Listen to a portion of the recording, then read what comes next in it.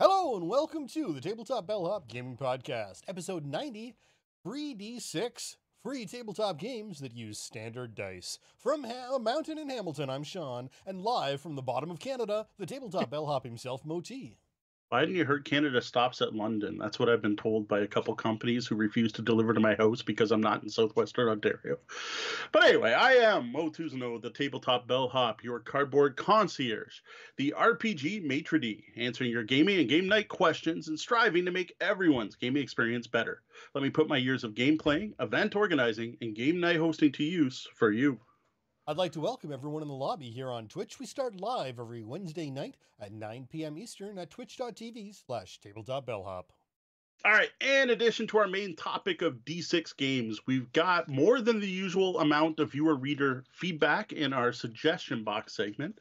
I've got a review of Clans of Caledonia for our game room segment, and a pretty light week in review, including my first thoughts on Eminent Domain Exotica and a couple plays of Woodlands, and that'll be in our Bellhop's Tabletop segment. We love interacting with our listeners and viewers. Each week, we're going to highlight some of our interactions with you fine folk. We'll share some feedback we've received, comments on our content, and maybe some gaming discussions we've been part of. We want to share what people are saying, both positive and negative. We get better with your comments and suggestions, and if you'd like to let us know something about the show, send your feedback to moe at tabletopbellhop.com or sean at tabletopbellhop.com. That's S E A N. Uh, you can also hit me up on social media, where I can be found everywhere as Tabletop Bellhop, one word. And I can be found as Dark Elf LX. Up first, some positive feedback from our list of free games to keep you busy while stuck at home. Carrie DeSlip writes, Wow, that is a fantastic listing of all the free games. Thank you so much for posting. I'll definitely be playing a few of these. Awesome, thank you, and sorry, you're welcome, Carrie. Uh, I'd love to know how your plays go because I, I haven't, we haven't taken the time to download any of them. But man, there's a lot of stuff on that list. I would love to know how it works out if you try any of these. Well, Mike Robinson writes, This is an amazing list. Thank you. I obsessively collect print and play games. This is like crack for me. Well, glad we could feed your healthy obsession there, Mike. Carcassonne Central says, Great list. Thanks for collating. You're most welcome, Carcassonne Central. Chris Groff commented, Ha, very cool. I had no idea major vendors were releasing so many print and play games. Well, thanks for the comment, Chris. Now, I do have to say, it has been really awesome to see this outpouring of support from the tabletop gaming industry. Now, I know they probably won't hear it, but I do want to thank every designer and publisher who has gone out of their way to do something, anything really, to support gamers in this most interesting of times. Now, jumping back to our comparison of the three best sites for gaming online, Susan Robertson writes Good resource. I decided to become a premium member of Board Game Arena because it's really not a lot of money for a year, and only one person hmm. needs to be premium member to access some of the better games on the site. There are also a lot of games I've never heard of and may never play, but the ones they do have I like, like Seven Wonders, Terra Mystica, and Kingdomino. Well, thanks for the comments, Susan. I gotta say, those are three of our favorite games on the site, ones we play regularly. I can't remember the last time I didn't have a Seven Wonders game going. Has been a bit since we played Kingdomino, but we actually live streamed a play of that. Uh, every now and then, though, what I like to do is try something new and and add it to the rotation. Something, and everything we've added, I've never been disappointed. We tried uh, Takenoko. Uh, we tried Through the Ages is one we've been playing quite a bit. Actually, we haven't had a game in a while. We need to start up another one of those, just between the three of us. Indeed, that last game went poorly for three of us after some random stranger who was really good at the game got added in. Well, now that we have uploaded a bunch of our video content to Board Game Mhm. Geek, we're starting to get a few comments over there, which is great to Sweet. see. Brian Fisher commented on our Sorcerer actual play to say, I really like this game. Oh, thanks for your comment, Brian. Now, this isn't the kind of comment I'd normally throw in our show notes. Like, it's good to hear it. And I'm glad that Brian commented, but I just found this one so ironic that I had to bring it up because it's a comment on the actual play of Sorcerer that was three players where we actually had a miserable time because Sean was down from Hamilton. And I got to say, the game didn't go well. Then that's being polite. Yeah, we didn't have an actual play because I was bad play because I was down from Hamilton. No, but no. because I was down from Hamilton, it was three player and, And- not how that game should play. Well, now some comments on our best six player games topic mm-hmm. from show. Isaac Cool writes, I don't know about best six player games, but my favorite games are best played with six players, hmm. like TI 3rd Edition, Dune, Illuminati, Wiz War. I like a house rule which connects up the six boards as a cube. The thing Whoa. is, I can never get that many players together. Oh, thanks for the comic, Isaac. Uh, Twilight Imperium and Dune, those were on our list. I, I couldn't help that one. Uh, Red Meeple Ryan from our chat room did call out Illuminati as a great option, so we got that one covered. Now, Wiz War, that is a game I have been curious about for years. Like, this is a game that came out in the 70s. It's like as old as um, Cosmic Encounter and um, oh, Merchant of Venus, right? Like old Avalon Hill game that keeps being reprinted and supposedly improved on every new edition that comes out. And it's still popular today. You can still get printings. I, I want to try that game sometime. It's supposed to be like a real everything in the game's overpowered, so it works. But like you just read your powers and you're like, this is nuts. Oh, that's nuts. Oh my god, that's nuts. But it somehow works. It sounds really neat. Now I gotta say I can't really help you much with the problem of getting six or more people together, especially not right now. Uh as usual, though, we will toss Isaac's recommendations in the show notes, and good luck finding a group, hopefully, when all this mess clears up, or at least playing online. Well, Phil Hatfield has some more six player game recommendations. Another light, good game for a wide range of age groups is Happy Salmon.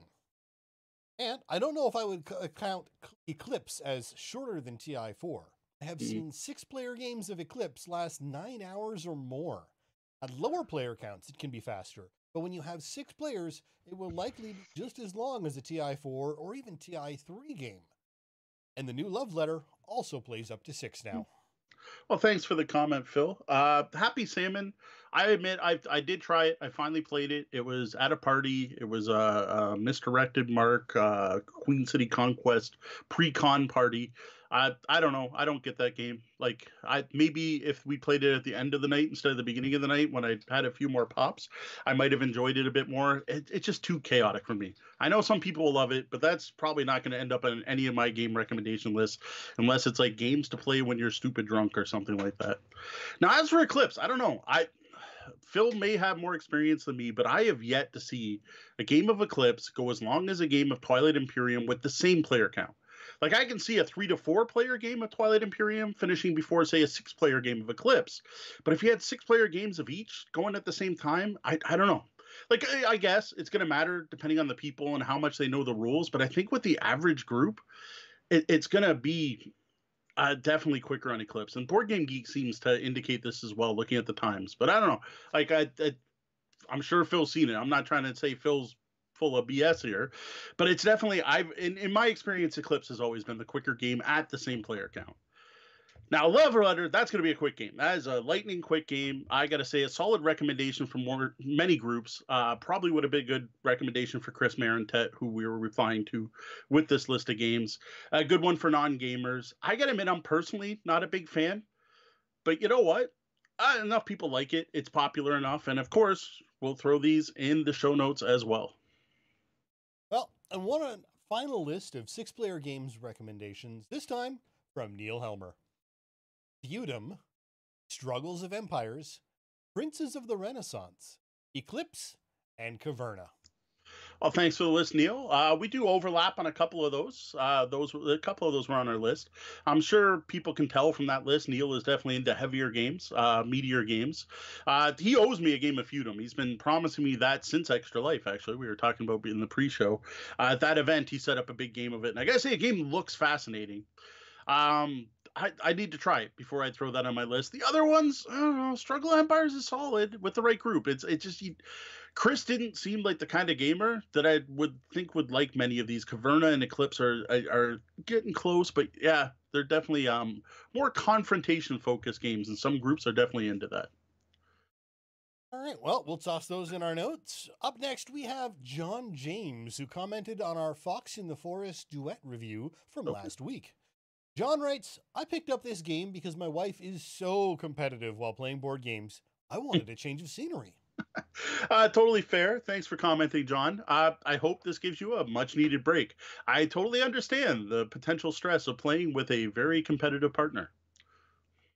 Next, we'll jump to an older topic of where to find out of print games. Bill writes, Though I have never had any luck on this myself, I have seen several people on MeWe and previously on Google Plus who posted about finding great games at their local Goodwill or secondhand store. Usually, those places don't realize the rarity or the demand for the board games, Mhm. so people tend to find them for a, just a couple of bucks at most. Some I have even seen got real gems of games for less than a buck. Again, I have not had any luck in my area, but in places with more people, I think more people, family members, take old games they don't play anymore or games from someone who passed away to the Goodwill or secondhand store. I've seen photos of old war games, newer games from the last seven years or so, and extremely rare games from decades past. So, checking at those places is another potential spot to find older, out of print games. Uh, thanks for the comment, Phil. I, I agree. It's it's a fair point. Now, I did consider putting resale shops, thrift stores uh, on that list of things. The problem is it's hit or miss. Like it's random. Whenever like whenever we're on vacation, wherever we go to town, if we go to London, we go to we go to Quebec, we go anywhere. Deanna and I like to hit up places like Goodwill or Value Village, and we've been doing this for over 30 years. Like it, this is back when we used to take the bus in our teens to London, and like once out of all that time, I found a copy of Marvel HeroScape for three bucks. That's it in 30 years. Like that's how how bad the chances are. Now I gotta admit, some people online seem to have really good luck, or maybe they're really good with Photoshop. Sometimes I do wonder at the number of people who've happened to find copies of $300 games at Goodwills. But regardless, the thing is, I wouldn't go to a thrift store to find a specific game. Like if, if I was looking for, remember the question originally, someone was looking for Mississippi Queen. I wouldn't go to thrift stores looking for Mississippi Queen. Now I'll still go to thrift stores, and there's always a chance I'll find something cool or out of print, but it's always the surprise. It's always the oh cool, I found this neat out of print game. I'm gonna pick that up. I like that's what it's random, right? I, I wouldn't go shopping for them. Now, what you might want to do is if you're really looking for something, is maybe pick up the phone or email. I, I don't know if these places have email places, but like I wouldn't go driving to every value village, but maybe call a bunch of Goodwills and say, hey, do you happen to have this game? But overall, like compared to the other sources, they're they're like almost definitely we found places that had Mississippi Queen. Whereas I would almost guarantee you there's nowhere in southwestern Ontario that at a Goodwill or whatever that's going to have that game. But there's always a chance. Yeah, I, to me, uh, whenever you're doing uh, either resale or yard sailing, that is something that you do as a regular habit, and you're gonna get lucky eventually.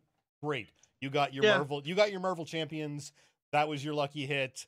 Uh, but a lo- lot of the people who do that are sort of weekly. You know, every week you go to Mhm. three Goodwill shops and every yard sale you can find.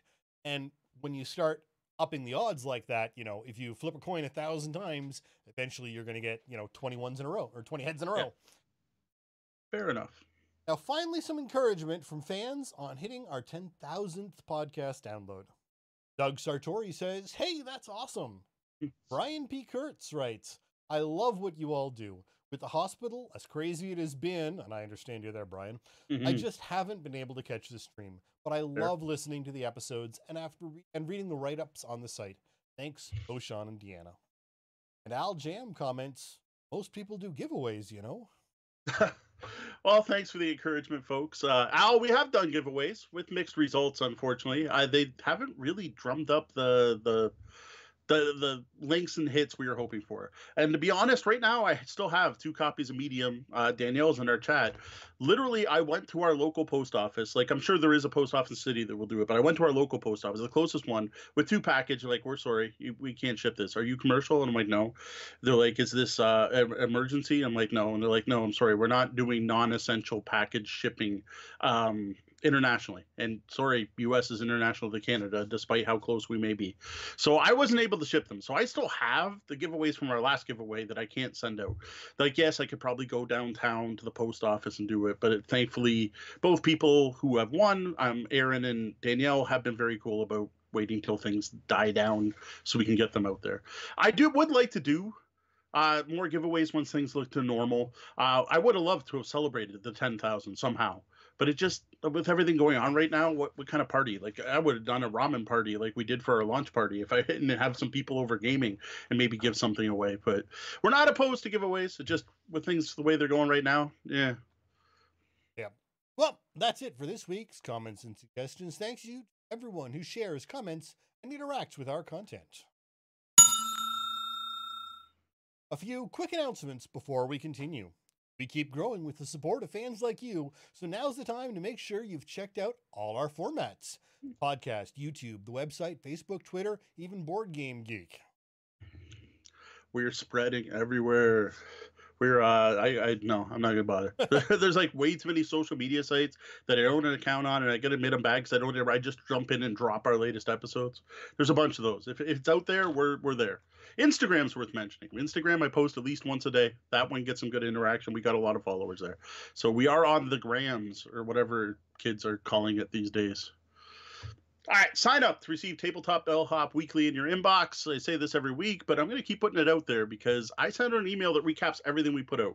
Uh, we do put out quite a bit of different content. We got blog posts, we got podcast episodes, we got unboxings. Sometimes we even have actual plays. This gives you links to everything all in one place, so it's easy to find. You can sign up at newsletter.tabletopbellhop.com.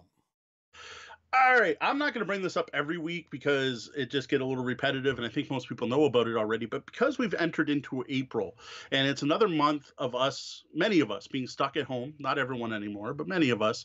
I just want to remind people to check out our list of free print and play games and modules. Uh, these are ones that have been released by awesome publishers and designers to give us something to do while stuck at home. And there were a whole bunch that ended at the end of May, like they did it for the month of May. Well, a whole bunch of new people have stepped up to fill the gap for April. So even if you checked out the list before, I think it's worth checking out again. Especially because we're actually in May now and things ended in April and started again in May, not the other way around. You can find this list by going to tabletopbellhop.com and clicking on 200 plus free P&P games at the top of the page. Or follow the link that I just dropped in the chat room and it'll be in our show notes as well. Time travel optional. Well, we start Wednesday nights at 9 p.m. ish Eastern here on Twitch, and we love people who drop in and take part in our chat room, the lobby. If you're here live, remember to stick around, and we continue the show after the double bell with more ch- cut chat and some content that otherwise only our patrons get, including a chance to win something tonight.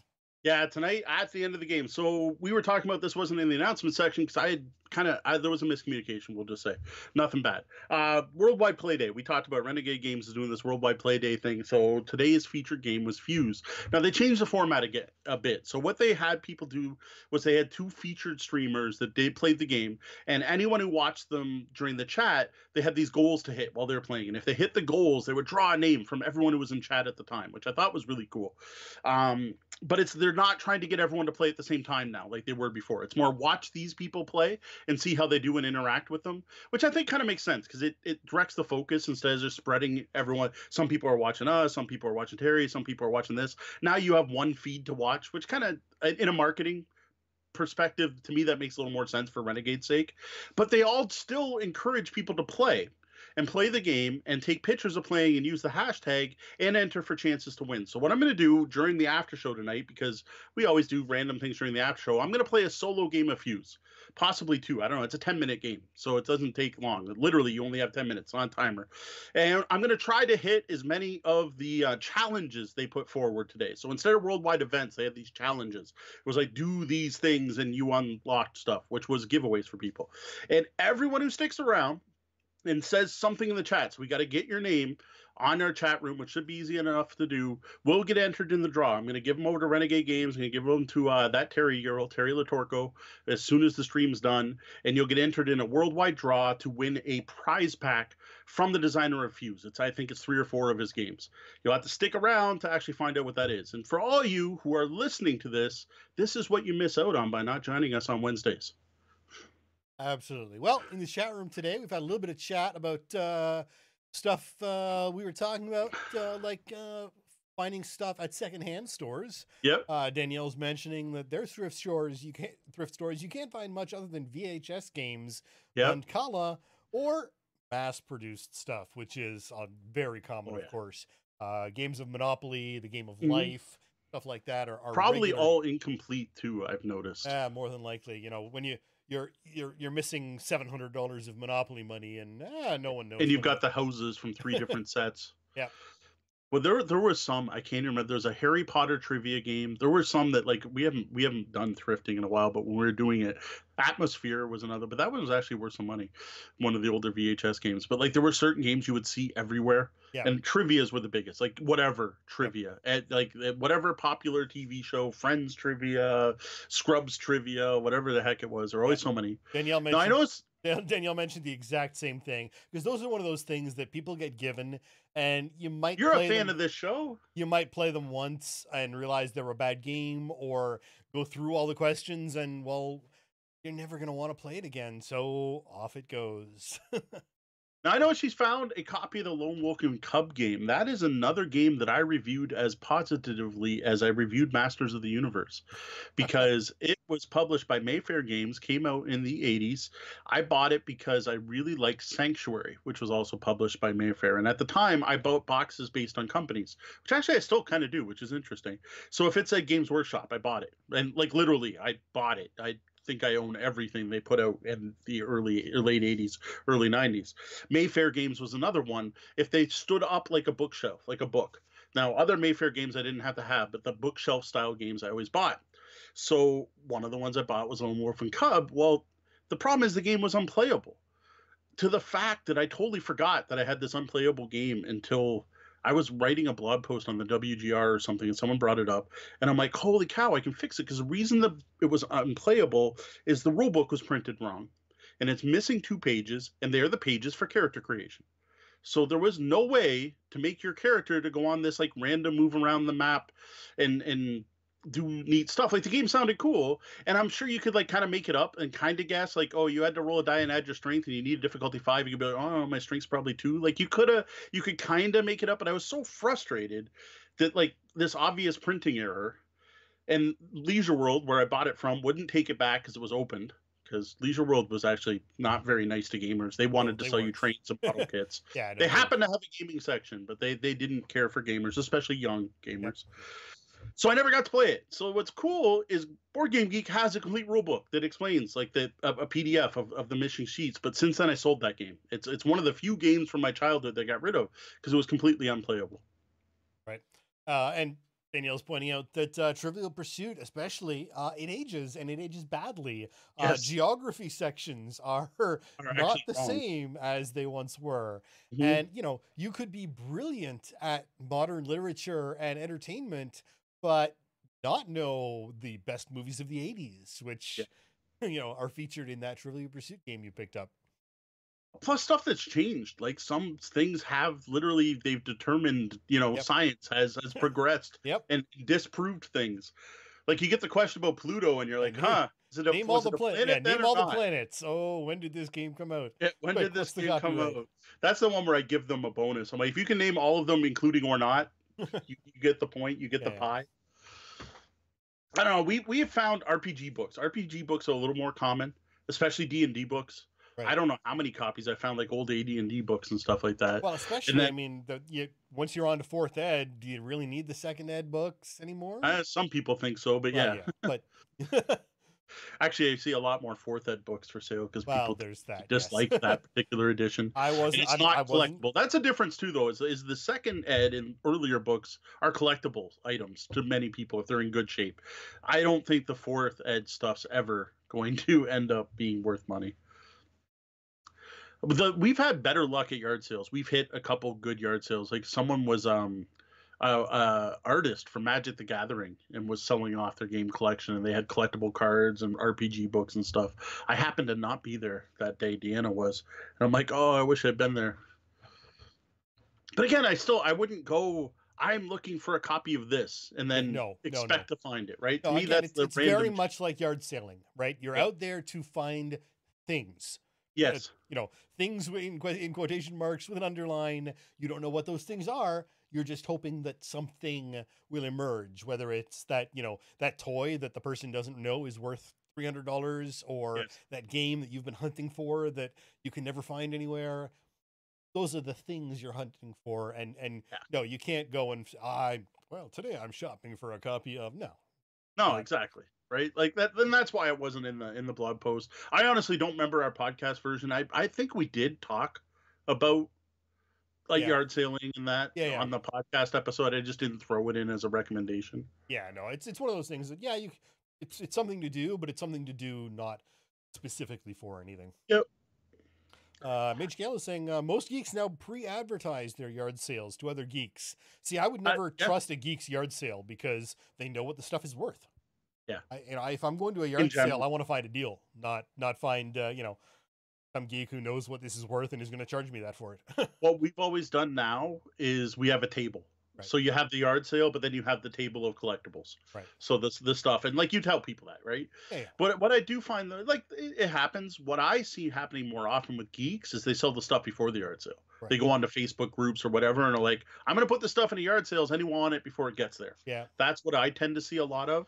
Um, in, a way, almost replaced yard sales for most geeky items, as far as I can tell. Because there's four different groups just in Windsor, like on Facebook, four different groups I can list my board games for sale. One I run, right. but there are three others I can easily put in. Hey, I have these games for sale. So Well, and I think I know I know in the states it's a bigger thing. I don't know about Canada, but free cycling became a pretty big thing at one point for you know shifting your stuff around and not having Yeah. yard sales at all. You would just do the whole free cycling thing through in your within your community.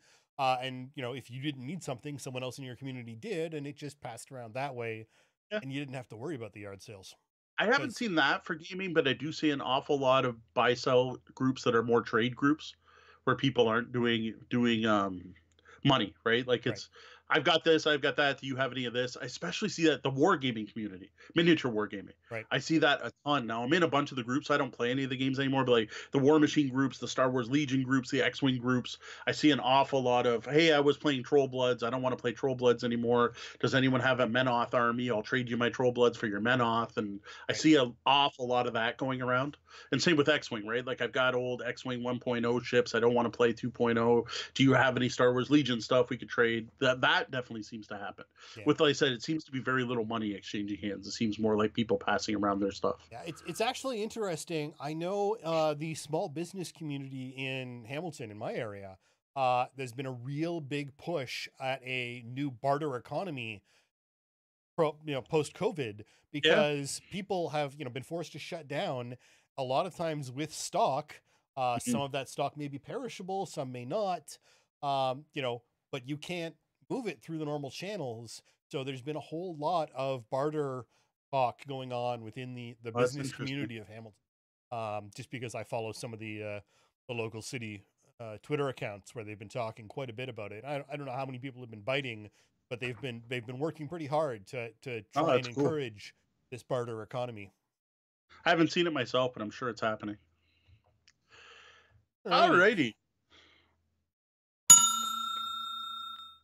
We're here to answer your game, gaming, or game night questions. You can send your questions to questions at tabletopbellhop.com or head over to tabletopbellhop.com and click on Ask the Bellhop.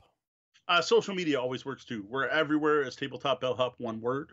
Now, the best way is for questions to come through the website. That way they get tracked and logged and all that happy stuff so they don't vanish and you don't forget about them in your stream of Twitter flying by.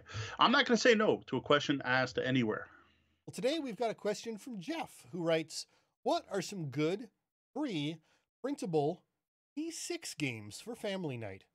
Okay. One autistic, one, AD, one ADHD. We play games like Yahtzee and Farkle, but would like and are willing to expand into the RPG universe or multiverse. Interesting. Multiverse. Well, thank you very much for the question, Jeff. Um, while we did get this question before the current worldwide mess, I thought this would be a good time to bring this one up. It seems particularly timely right now. So this was in our question pile. It's a, it's an older question from Jeff. I don't know Jeff's last name. They didn't leave it. It's not Jeff Seuss, who I thought it might be at the time, especially by bringing into the RPGs. But he wouldn't be just expanding into RPGs. Uh, so I thought this was a good time to talk about this one. So one of the best things before we get into game recommendations is what I love about games that use the humble D6. A D6, I hope everyone knows, is a standard six-sided die. You know, one to six, six sides. Is that most people have them, right? Like, I, I don't know anyone who doesn't have some in their house somewhere, even if they're not gamers, right? Like someone's got that copy of Monopoly with six sets of hoses in it, and it probably has two D6. Actually, it's probably got four D6 in it because you only need two. Uh, and that's why you see so many games designed just to use the standard six-sided die, especially independent uh, designers tend to do this, right? So it's not why um so you don't have to buy anything else to play the game. And it's as a side note it's also why you see so many games that use a standard deck of cards for the same reason. It's almost everyone has a deck of cards. So tonight we're going to list off some of the best games that need little more than just some dice now, some of these may require to print something off, and many are going to require some kind of pen, pencil, paper, but you're not going to need any fancy gaming supplies. You're not going to need polyhedral dice or thick rule books or miniatures, pawns, meeples, resource cubes, or any of that fancy stuff. Even if you don't have a printer, as some people are going more digital than ever these days, you can mm. usually find a way to read or mark up sheets on a mobile device if there isn't, and in many cases turns out to be a mobile app to manage the paper uh, aspects. Yeah. To be honest, I didn't dive into it, but when we get into the games here tonight, many of these have mobile implementations, and many are pass and play. But I was looking for physical tabletop, not digital. So I'm going to start off with the two Jeff mentioned, uh, just for people out there that aren't Jeff who may be looking for free D6 based games. Uh, yes, you can buy copies of these two particular games, but the full rules and score sheets are available online for free. And I'm pretty sure you're not copyright infringing or anything like this. I think they're they're common market or out of copyright. I don't know. As far as I can tell, it's legal to to grab these games online. So first up is Yahtzee. Uh, this is obviously the classic and most well known roll and write game in the world or at least in North America. Actually, to be honest, I don't know if it's something that people in Germany play or not. Uh, pretty much everyone I know, and most people who are listening, I'm sure know this one. Uh, my favorite version is a travel version that was out in the 80s and it was awesome. It was in this plastic blue thing that you rolled the dice and you pushed the back of it to lock them.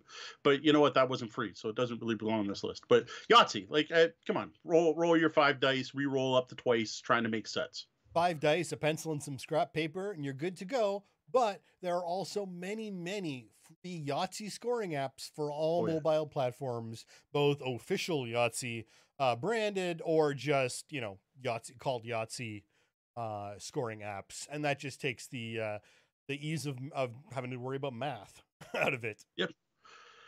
All right, next is Farkle. Uh, this is the other game that Jeff mentioned. Now, this one I had no clue about growing up. I don't know how I, I missed this one. It's it's as far as I can tell about as ubiquitous as Yahtzee. Um, this one I actually learned through Facebook. Uh, this was one of those Facebook acts that I was addicted to at one time, along with you know Words with Friends and Candy Crush. Yes, I played Candy Crush. I don't know many people didn't. I still play match three games, just not Candy Crush. Uh, this is a neat pusher luck dice game that I actually found way more fun than Yahtzee. I find Farkle a much more enjoyable experience than Yahtzee. But again, just needs, I think it's five dice, might be six. Well, uh, that was Farkle. All right, on to some new recommendations for Jeff here. So Liar's Dice. Uh, we brought this one up a couple times when talking like about six player games last week. It's another classic. The rules can be easily found online. There's even a Wikipedia page that tells you how to play. Uh, it has the added benefit of not needing a pencil and paper. All you do need is five dice and a cup, but you need that for every player. So this one might be a bit rough unless you are a gamer and have a ton of dice in your house, but you know, never know. Um, what you do need, the, the cup's optional. You just need some way to hide the dice from the other players. Uh, this is a great big group game because you can literally play with as many people as you want as long as you have cups and dice. That's awesome. And that was Liar's Dice. Next up is Bunko. Mm-hmm. This dice game is designed to be played with 12 players, but it can be played by any number divisible by four. You need at least three dice for each group, so 12d6 in total. This game, players are trying to roll triplets on their three dice with bonus points awarded for hitting the same number as the round number called a bunko. Obviously, this game is played over six rounds. Nice if you got a big group, and that was bunko. Next, you have Ship Captain Crew. This is a really simple game. This is a bar game. This is the kind of thing people usually play with drinks involved. All it needs is five dice you're going to get three rolls to try to roll a six, which represents the ship, a five, which represents the captain, and a four, which represents the crew. If you manage to do that in three rolls, the other two dice is your score. You add those up. Whoever has the highest score wins. Whoever loses drinks. You know, it's a drinking game. What I thought was fascinating about this game is this is pretty much the system that Tower of Madness used.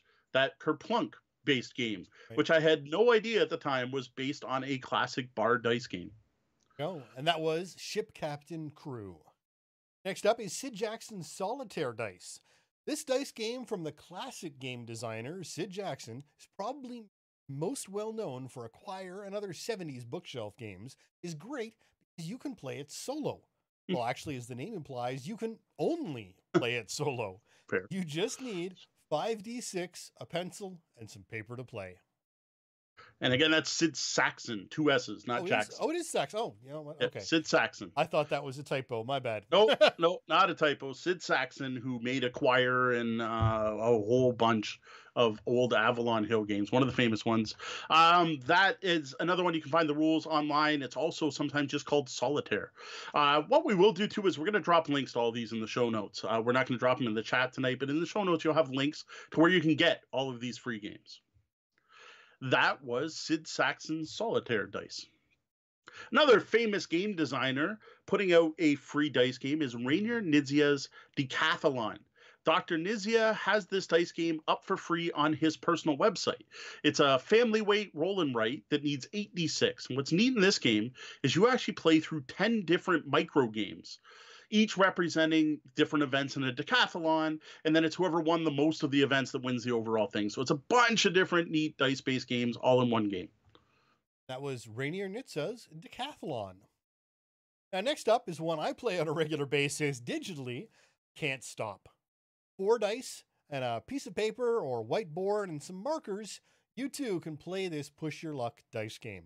You just need 11 columns representing the numbers from 2 to 12, some markers to keep track of where everyone's place on the board, and then you roll those four dice and see what columns you can advance on using uh, groups of dice. You can only move on three columns during your turn, though. So if you don't roll one of those three numbers that you chose, uh, that you've chosen on a on a uh, following turn, you're out, and you have to move back to where you started from. So that is can't stop. Can't stop a classic. I still want a physical copy of this somehow, like like a nice wooden board or plastic or something. It it just I, I think it'd be a great game for for easy mode nights, or if we happen to start doing a bar night or something, or even New Year's Eve. I just think that it as there's something to play before people show up. There are some fantastic DIY versions that oh, came Oh, out there. The people who love this game go crazy for Oh, yeah. designing boards about it. It's really Mhm. both bizarre and interesting at the same time. All right, up next we have Utopia Engine. This one just looks really cool. This is a free print and play dice game for one player. It's a one sheet. You print it out. It's got all kinds of nice artwork on it and all these boxes you're going to start crossing off. And what you're doing is you are rolling dice to try to build this fanciful device from the distant paths, trying to stop an incoming doomsday. All you need is 2d6, a pencil, and an eraser, which is important because there is stuff you're going to mark off and then cross out and well the one page sheet that you can get free online And that was Utopia Engine. Next up is 30 Rails, a dice game about building railway networks onto a 6x6 grid of squares. Mhm. The name comes from the fact that it's played over 30 turns. wow Each dice tur- uh, each turn, dice are rolled to determine which track you have to place and in what row column you have to place it. There's Cool. even an advanced game that includes stocks and shares. One of the more complex ones on our list, I think. yeah definitely know what sounds cool about this this sounds like an early version of Railroad Ink Absolutely. like that it, it, it sounds like a, a Yeah. free non-specialty dice version of Railroad Ink and i think Railroad Ink is a really cool game so this one looks really neat to me this of the list just kind of really spoke to me Well, then one is- interesting thing about this uh, is that not only is Railroad Ink. Uh, you almost suffer from too many choices, yes whereas this one, uh, the dice give you uh, are more controlling. Yeah. Uh, so And that was 30 rails. Next, I have the Great Races. Uh, this is a dice game using a dedicated score sheet. Players roll their dice and gather them in pairs. Each line in the score sheet represents a different race. The pairs are going to get added together, so you're going to have your, all your numbers on 2d6. The first player to complete any, um, a complete a set of, uh, sorry, complete one set, one column wins that race. At the end, the game ends when every race is completed the player with the most races wins the overall game. And I gotta say, this is very similar to Can't Stop, but takes out that whole push your luck element. If Right. you can't place your dice, you can, you're just done. Like you take a turn, I take a turn, you take a turn, I take a turn. which So which- there is some yeah. It's either the benefit or the downfall. Some people really love Yeah. that push your luck, whereas some people might hesitate from you know the uh, inevitable anger that comes when you've just moved you 12 just keep you know, rolling you're so close to winning and then you're done. You're out Yeah. and you lost everything. And that was the Great Races. Uh, next up the mini quest. Here's one for the fantasy adventure fans. It plays two to three players and you just need three dice a pencil an eraser and the free print and play rules and sheets. Players play heroes that travel around a hex map gaining loot and eventually taking on the boss I gotta say, this one looks really neat. This is one I'm tempted to download myself and check out. It's got a got a good fantasy Zelda D and D kind of feel to it. and that is the mini quest Next, I've got 13 Sheep. This is a quick roll and write where players draw fences to protect as many of their sheep before the wolves come. Each turn, players roll a die to determine what type of fence they have to draw. The game lasts 7 to 10 rounds because those last few rounds, if you roll sixes, the game comes to an end, where if you don't, it keeps going all the way to 10. At the end of the game, you get one point based on every protected sheep you have. This seems like a variation of 30 Rails almost, uh, where It there's, sounds much simpler, you know, yeah. you're, you're, you're looking for enclosures rather than roots, but, you know, very similar sort of concept. And that was, yeah, it's got a definite um roll to see what you play seemed to be a common roll and write mechanic. Uh, Yeah. uh, here's a chart. You get this thing. Now draw that thing. and that was 13 sheep. Now moving over to the RPG side of things. All right. So soon as I got this question and it said the RPG multiverse, something popped in my head right away. And anyone who is a fan of Star Wars probably thought the same thing if they know about this. And that is the Open D6 system. This is the system that West End Games used for their cinematic RPGs. Now, that includes Ghostbusters and a couple other games, but the most famous is their Star Wars D6 system, the WEG, W E G Star Wars system. Now, after they lost the Star Wars license, and then there was to Wizards of the Coast, there was some other mess going on here with licenses, but eventually they released the base D6 system uh, under the OGL or the Open Gaming License, which is something that started year 2000 with D&D 3.5 or 3 third edition D&D. What this means is now that base system behind Star Wars is free to be used by any designers. And now some companies have taken that license and produced retail games that you can buy. There are a handful that took that open license and used it to release open and free games.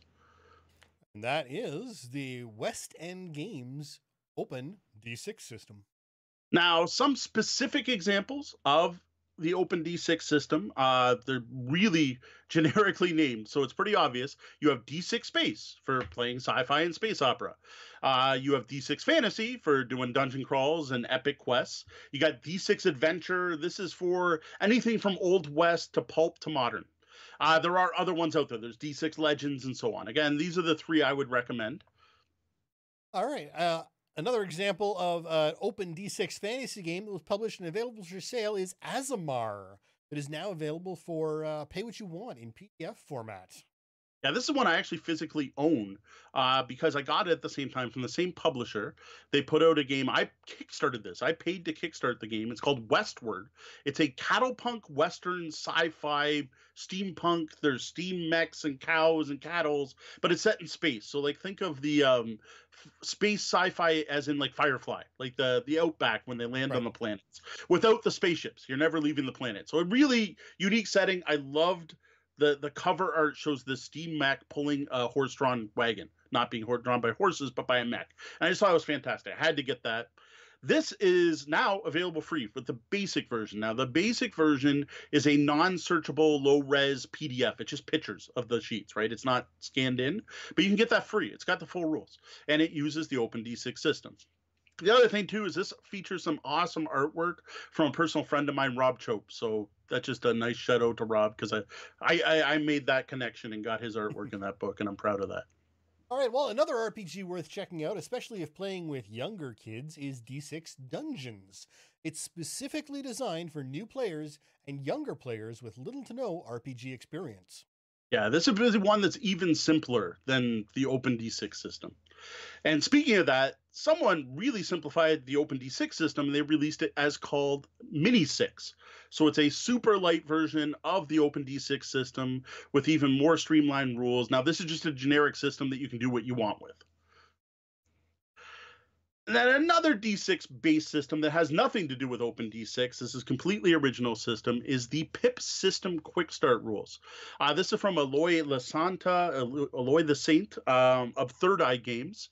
These are the games that drive purchasable games like Mermaid Adventures. Now, I've mentioned Mermaid Adventures on the show before. This was one of the first games I used to introduce my girls to D to RPGs. And all you need to be able to play that game, besides the book and pens and papers, is two different colors of D6. They recommend black and white, but you can use two any other colors.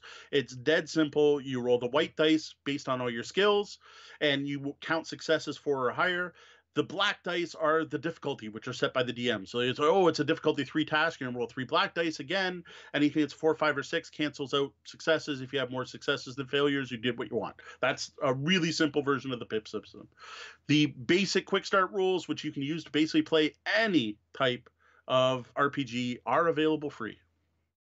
All right. Well, and while we haven't tried it, I did see that GURPS Lite is a free system that only uses D6. Fair enough. I, I admit I'm I'm kind of surprised there's GURPS out there for light, but that's cool. Steve Jackson Games, give him back. All right, I'm going to leave you with one. Uh, we actually recommend this a lot on uh, the podcast, surprisingly, for how little we've actually played, and that's Fate Core. Um, now, normally you would need fudge dice, or there's modern Fate dice, but you need special dice that have pluses and minuses on them to play any Fate games. But you know what? There's nothing to stop you from using a normal d6. One to two is minus, three to four is blank, five to six is plus. Yeah, it would take a bit to get your mind around it, but it works. Now, Fate is very different from traditional role playing games. So, Jeff, in particular, going back to the original question, is talking about getting into RPGs. And I honestly have no idea if Fate would be a fantastic, awesome way to experience RPGs for the first time because it would be such a different perspective from what I grew up with or a terrible idea because the whole idea of aspects of storytelling is so different. I really don't know. All I know is if you start role playing with Fate, you're going to be in a different boat than most of us out here. Well, that's it for our thoughts on free D6 based games. Now let's head over to lobby and see if the awesome folk gathered there have anything to add.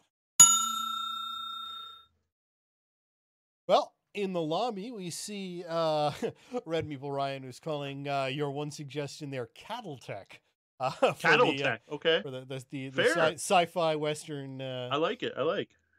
so I, I, they, they they coined the term. Well, they didn't coin the term, but I made them use on their Kickstarter the term cattle punk right. which is something I first read a long time ago in Knights of the Dinner Table, and I always like that term because it wasn't just cowboys and Indians, right? There's there's a little bit more to that punk feel, right? The, the, the little more badass. It's not just black and white. It's more rage against the authority. You're playing the rebels not not the uh, you're not the sheriff, right? So. I kind of like that feel. I admit Westward's a really neat game, and Azamar is the fantasy version of that in my head, though I know Azamar came out first. But those are both games that like cost real money for a long time. That now the publishers have have since moved on to other things. It's uh, Wicked North Games is the company that publishes both of them. Right. Uh, I am surprised. No one in the chat knows any um, free D6 based game. I expected like just a wave of independent RPGs that people could play to come from our chat room. Maybe RPG, we need Jeff. Well, we mentioned Fiasco yesterday or last week. Uh, Fiasco is uh, not available free though. And no, Fiasco is not free. And then uh, Durance, but again, I don't think that's free. No, either. that's that's the follow up uh, to Fiasco from the same designer, um, Jason Morningstar. Unless yeah. unless the fiasco like SRD is available free. So Spirit of the Century, so the original Fate games before Fate Core, those are available free. Uh, there's an SRD that was called Spirit of the Century is the game that took Fudge, which is a generic universal role playing system, not GURPS. So I don't know what Fudge stands for. That came up with Fudge dice. A game was created for that called Spirit of the Century. That is available free. Um, there are there you go. Uh, Red Meeple Ryan is pointing out that there are BattleTech quick start rules. At that point, though, you're getting into standees or miniatures, though. Like that, that's pushing the. Yeah, all yeah. you need is six level. Yes, I guess you could print and play little standees. Yep. No, it's fair. Like I, to, to admit, I did not write this list off the top of my head. It took some research to come up with these games. Some I knew right away. I'm like, oh man. In particular, I was going to point out a, a, certain Star Wars game, but I have since learned that the um, it is not like under used under license, so right. we are not going to mention that one particular. I thought it was. I thought it was like, not that I thought LucasArts or Disney gave them the permission, but I thought because of how it was published like it's something you can buy a physical copy of. But no, I RPG Geek very clearly explained Right. that it was not something, and we are not advocating ever piracy. No, no, absolutely not. Now, again, Fiasco is only twelve dollars for the core set, and they are pointing out in the chat room that once you get the core, there are many Yes. play sets that are free. Yep. No, So, that's true. Play sets For twelve dollars. you get you get your your your PDFs and your and your Mobies and all your all your fancy digital files, and then it can be free from that point on. So depending on uh, whether you want to go that direction or not. CeeLo. I don't know CeeLo. It's not one I know. C- C- Sewer Rat Zero says CeeLo. I don't. Gambly works, right? Like, like we could have put craps on this list, I Yeah, guess. yeah.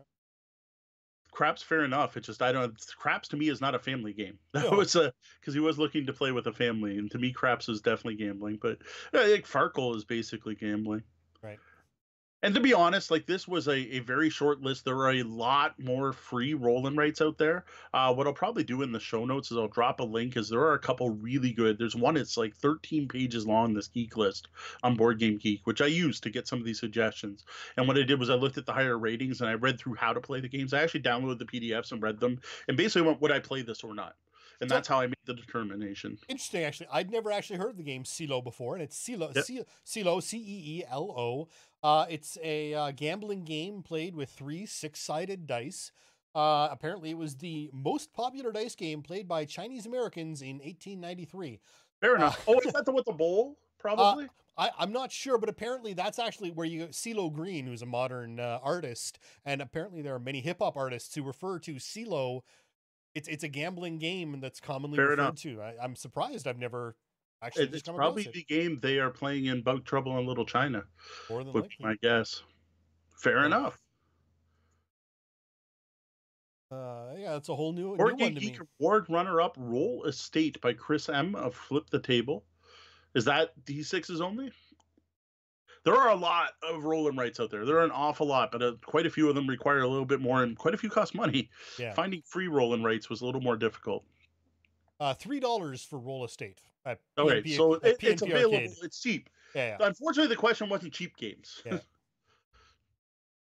we were looking for free ones, and like I said, there are more. There are a lot more. These are the ones that like I said either caught my eye or had really good, um, really good ratings, like over six or seven. I don't expect a rolling rate to have an eight or a nine, right? I wasn't looking for eights and nines.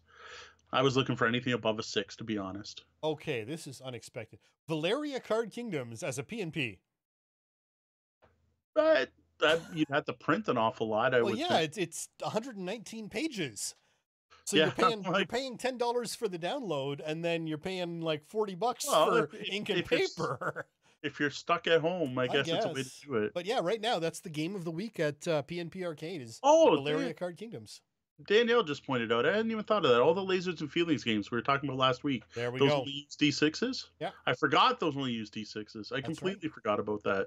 So yeah, lasers and feelings, um, love and justice, um, rocker boys and vending machines, and all the other various versions of those. I think Lady Bat- Blackbird also may be D6 based. If Lady Blackbird, that's a fantastic free RPG. Now, none of those I would recommend to a brand new group. Like Jeff, I think this would be a terrible choice. Like I don't think you would know what to do with a X and X game if you didn't know what role playing was ahead of time. Right. Like those sheets don't tell you what a DM is or how to play or any of that, right? It's all just for information on how to make characters, and you probably be lost. So not the best recommendations for Jeff, but great recommendations for people who know what they're doing. And Not- in, in general for, for PNP, and again, I'm not going to say these are all D6 games. I, I'm not going to go through them all right now. But if you go to pnparcade.com, Yes. they have a, a collection of free games. Uh, most of the Mint games are free right now. Oh, that's Uh, interesting. Tiny Farms, Twin Stars, Wildest West, Two Rooms and a Boom. Uh, there's uh, five pages of free games right Wow. now on PNP Arcade I'll all admit, free. I, I did look at that. That's Utopia Engine comes from there on our list of of the ones I looked at. That one really jumped out to me. Yep. As being a D6 game too. But uh, so again, for for maybe not for the D6 players, but for players in general, especially right now when we're all hungry for for content. Yep. Uh, PNP Arcade free uh, collect slash collections slash free dash games. Totally fair. Yeah, we'll throw links to all this into the show notes. I thought it was an Absolutely. interesting topic, to be honest. Yep. I thought I thought it was. I had fun doing the research for this one. We'll put it that way. I, I don't know. Maybe I'll sit down and try them all at some point and review them because I'm going to run out of review content. But actually, I made some contacts recently, so maybe that won't happen. Well, yeah. So uh, Ryan's pointing out role player is actually the opposite of Valeria, where it's cheaper to go buy. It, it's cheaper to buy a retail copy Yeah, yeah. than to print it and buy all the dice meals. well, yeah, and I think Valeria is probably about the same. Like it's just yeah, it's like so expensive unless to you're gonna play in black and white. Yeah, or you happen to work in an office that's not going to mind you using their printer. That that's how I used to justify some of my print and play purchases. well, and also and yes, I had permission. I would not steal office resources. We were allowed to use the printer for personal use within reason. Yeah. And for the number of people printing off sports betting sheets, I did not feel guilty printing off my RPG content. Yeah, no, I you know what I have to say, and there's no real shuffling in in Valeria. I was gonna say I would never No. want a card game where you shuffle, but there is no shuffling. No, in is not. It's not a deck It's in that way, it's actually not that bad. You don't need the card stock. No, exactly. You especially. just print it on paper in black and white and be able to play. Yep. Cthulhu dice is one that's always in my bag. If I missed mentioning the plethora of Steve Jackson dice games, the thing with it, Sewer Zero was the the the, the question was specifically standard D6, one to six. Almost all those Steve Jackson dice games use unique dice, right? Like that's how King of Tokyo doesn't work. We aren't just looking for roll them rights, and we're not just looking like like that's also why Railroad Ink. wouldn't work because it uses unique D6s. We were looking for free games to play with standard D6s, one to six, six sides. Though to be fair, if it's a six-sided dice, you can build yourself a little translation chart. Oh yes, yes, Easily- fair, easily fair enough. enough. But then, then you're also getting into almost stealing people's games, right? Because Yeah, Cthulhu, true. like those Steve Jackson games, are purchasable. They're not free games. So yes, you can make a free version of most board games. I can make a free version of Terraforming Mars Yep. with pencils and crayons, but that's doing a disservice to the designers of the game, in my opinion. Absolutely. All right. Well, I think there's enough free people out there. Well, I think that's it for our topic Yeah. tonight. Remember, you can find lots of gaming topics and advice like this over at the blog tabletopbellhop.com. Just click on gaming advice at the top of the page. You invest in those coffees. Up next, a look at the Clans of Caledonia, an economic board game set in the 19th century Scotland. Uh, Clans of Caledonia was designed by Juma Al-JouJou, features art from Clemens Franz. It was kickstarted in 2017, funded in under three hours, published in North America by Karma Games. Since being published, it has been nominated for seven awards, including the Golden Geek, that's a Board Game Geek Awards, Best Strategy Game and Game of the Year. Though it did fail to win any of them, but still, that many nominations, you know you got a gem here. Now, instead of going through what you get in the box bit by bit, I would like to direct everyone to check out our Clans of Caledonia unboxing video on YouTube to see everything you get in this heavy box. Yeah, heavy for sure. This is one of the most densely packed board game boxes I have ever opened or picked up. Uh, there are a ton of wooden components and a ridiculously thick stack of cardboard punch outs included with this game. Uh, like, this is more than an inch. Like, is a crazy amount. Uh, all I'm going to say here is you get a lot for what you're paying for this game, and everything is top notch quality. And that's even in the retail version, because, man, the Kickstarter even had mono coins and even more shiny bits even the retailer is, is really impressed by what you get. Well, can you give us a quick overview of what players are doing in Clans of Caledonia? I mean, it's Scotland, so there must be sheep, right? Uh, there are sheep. Uh, they are a production building, technically, in this game, and they produce wool. Uh, now, I'm not sure how quick I can get through this one because this is a heavier game. It's up there. It's not heavy, but it's a, it's a heavier game with a lot going on, with a lot of options. But I'll see what I can do to keep it fairly short. Now, we're going to actually talk about theme because I was rating this up earlier today and went, you know what? I should probably mention the theme because I'm terrible at that. So, in Clans of Caledonia, you're going to take on the role of one of the managed Scottish clans in the 19th century. Uh, this is basically the Industrial Revolution period of Scotland, and you are working to improve Scotland through expansion, trade, and export. Again, it's rather heavy economic game uh, based around getting production buildings out on the map to produce resources, refining some of those resources, buying and selling both refined and unrefined resources, and fulfilling export contracts. When you fulfill export contracts, you're going to get some points and bonuses, but you're also going to import goods into Scotland. At the same time, players are also trying to spread out on the map and establish a large number of settlements. So, sheep, wool, land, food, maybe some mm-hmm. nice scotch too? Oh, of course, there's whiskey as well. It wouldn't be a true game about Scotland without whiskey. This is one of the refined goods that you can churn your grain into whiskey barrels. Now, all this is done through players taking a number of actions each round until everyone passes. Just keeps going around until everyone passes. Usually happens when players are out of money. Now, the actions you can take, there are eight of them, so this will take a little bit to go through, but I'm going to simplify them. as trade. You're going to use your merchants to buy or sell goods on the market. After each transaction, the value is going to be adjusted based on how many goods were bought or sold. So there's an economic engine. It's not just this costs this, period. Yes. Yeah, very clear. Like actually a really nice engine. It's one of the better economic systems I've seen in a game. Um, you can obtain one of those export contracts. You're going to take one from a, a, central board, pay its cost. What's important is each player can only have one of these. I assume they're powerful enough that holding multiple would be a game breaker ah, it's not really powerful. It just it would totally change the game.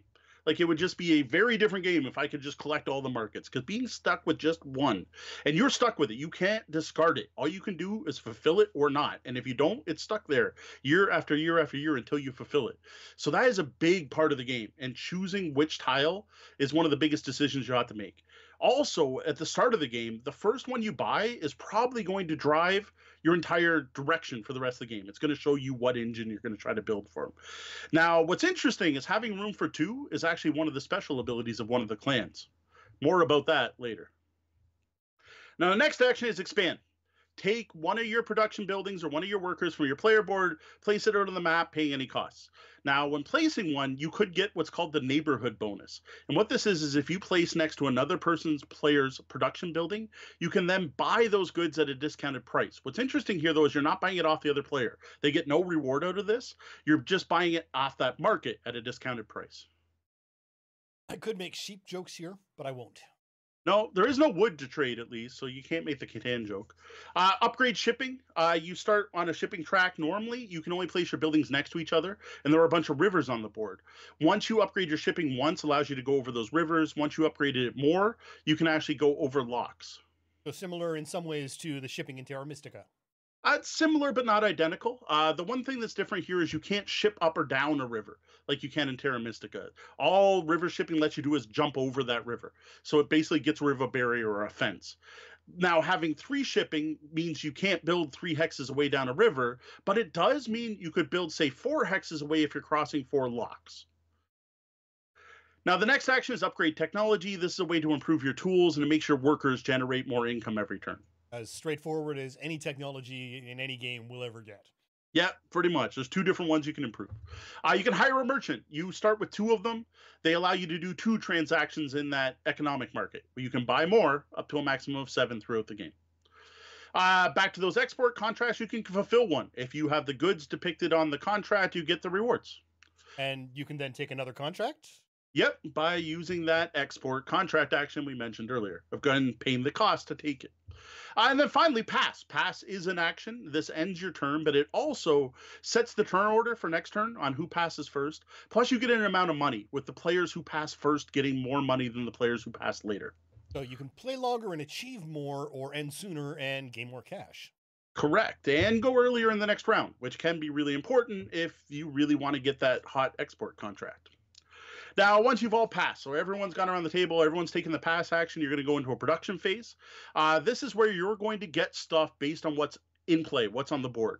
And the this is done by looking at your player board that just tells you your totals. Uh, you're also going to get to refine your goods. So some of the goods you produce can be turned into other goods that are worth more on the market. So, for example, a field produces two grain. Well, a bakery can turn one of those grain into bread and a distillery can convert one of those grain into a whiskey. But you could also just sell the grain. So there's a, there's definitely some thinking, and it's going to depend on what export contracts you have, which of those goods you need. Cheap food and scotch, a great Scottish tradition. now the final phase is scoring. Every round you're going to get glory. Glory is the victory points in this game based on whatever the token is up. So at the beginning of the game, you're going to randomize and put out five tokens, and they're all going to score different things, and it's completely random every time. After the last round, there's an end game scoring. Here, you're going to get points for all the glory you've gotten so far in the game, which just makes sense. So that, that'll be very similar to people who played Terraforming Mars. You're going to start off at whatever your terraforming rating is. Uh, then you're going to take all your leftover goods and you get to sell them. You get points for how much money you have. Uh, the number of imported goods you have So there are three different types of imported goods. And what you get, this part's neat, is based on how many have been imported overall. So there's three import goods. There's, I'm going to forget because I didn't write them down here tobacco, sugar cane, and something else. I forget what the last one is. I apologize. Um, depending on how many imp- are imported, they're worth different amounts. So the one that's been imported the least is worth the most points. So there's a whole rarity system in play there that I thought was really neat. And then you're going to get a point for the number of settlements you own on the board. So interesting that the the economic engine uh, continues into that scoring phase mm-hmm. as well, adding rarity uh, into Correct. into the value there as well. So again, it's five rounds of scoring plus an additional scoring round, or is the fifth round the final round the the, the fifth scoring round? No, so you you play five full rounds. Each round ends with a scoring phase. So you finish that fifth round, you finish the fifth scoring phase, then you do an additional end game okay. scoring where you're scoring completely different things. You're no right. longer scoring the little token. You're scoring, scoring up the, the list I just went through. Now, all these rules can be modified by the player's clan. This is one of those highly asymmetric games. Every clan is completely different from each other. Uh, some examples Clan Buchanan has a second export box. That's one I mentioned earlier. Clan Campbell gets a discount on all buildings that process goods, but not just the generic goods, just the processing ones. Clan Cunningham is known for their milk, or sorry, butter for their butter. And what they can do is they can sell their milk throughout the game for more than it normally costs because it represents converting that milk into butter, which I thought was really neat. Uh, Clan Ferguson starts with more meeples on the board. Clan McDonald has like a weird rule where they can place workers out on locks and they represent fishermen. And during the game, they can move the fishermen around in the locks. Like, it really different abilities for each of the, the, the different clans. So, very much like Terra Mystica, in that the, the clan you choose, much like your race in uh, Terra Mystica, massively influences how you're going to play the game. Correct. Yeah, it's definitely different. Uh, they, they each play different, and they're going to give you a direction almost right from the beginning of the game. If you're going to get extra money every time you sell goods, you're going to spend most of the game trying to sell goods. If you're Clan Buchanan and you want to make milk, you're probably going to try to get lots of cows out there to get lots of milk so you can convert it to butter. Um, I got to say, one of the signs, uh, no, I didn't give a disclaimer at the start of this review. That's because I bought this game this is a good indication of how much I expected to like this game. This isn't a review copy. This is something I went down to Hugon and Munin, our local gaming store, and picked up and spent my good money on. And I am happy to report I don't regret this purchase in any way whatsoever. I greatly enjoyed this game. Now, longtime fans know how much I like asymmetric games, so right there, there's a win, right? Clans of Caledonia is up there for having some of the most asymmetric powers, player powers out there, and there's lots of them. There's eight or nine clans in the game, I forget. You're only playing four players, so it goes both places. Um, I, I love how everything looks. Like the, the the meeple are all unique, which I thought was really nice. It was a nice touch. Every, every resource looks different. Every they, they have a different texture, a different width. They're all different colors. Having unique wooden pieces for all the different buildings is a huge bonus. I would have liked the metal coins from the Kickstarter, but hey, I didn't kickstart it. I'd be tempted. But other than that, I'm really happy with this because you know what? If this would have been a Mayfair game or a Rio Grande game, especially from a couple years ago, I would have just had a bunch of different colored cubes and maybe cardboard chits. It's really nice to have the uniquely shaped meeples, which is also something that helps the game be more accessible with people with vision problems, which thankfully I don't have, but is a selling point and it's great to see. For the record, this game was purchased at the CG Realm. Hugon and Munin went out of business a number of years ago. Yeah, it's today's the time travel episode where May comes before June. Come on, Hugon and Munin can still be there. Yes, I apologize. The CG Realm here in Windsor, Ontario. And Great May store. The, always... At least the one of the owners is the same. There's... And May always does come before June, but not before April. There you go. I don't, I don't even know. It, it's quarantine time. I can't even say it. Quarantine.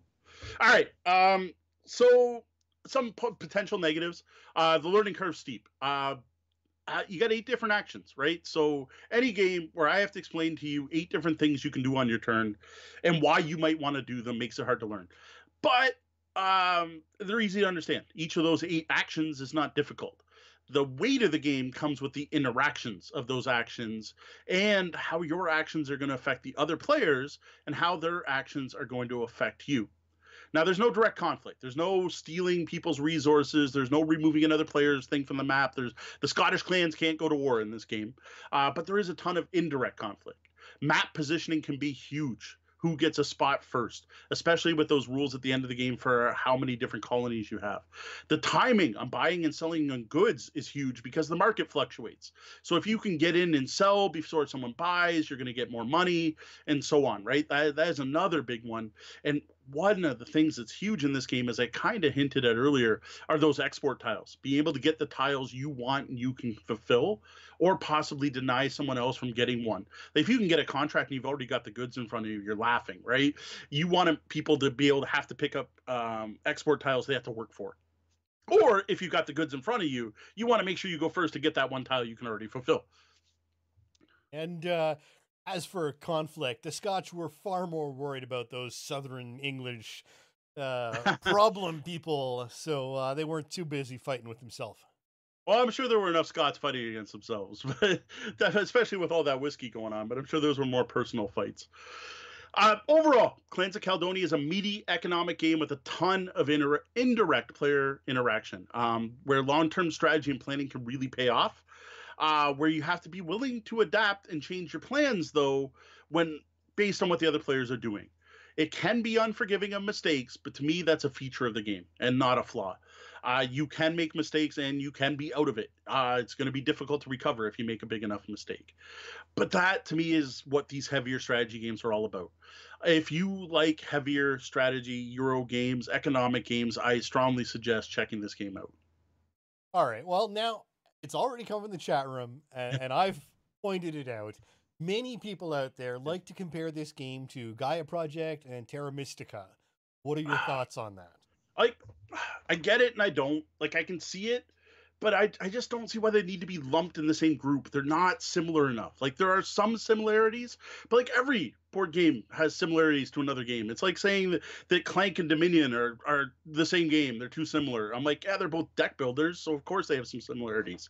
Like, yeah, you're doing the whole take things off your player board and then that tells you your income. Okay, I get it, but you know what? Eclipse does that. Tapestry does that. Like, it's not just these three games that have that player board.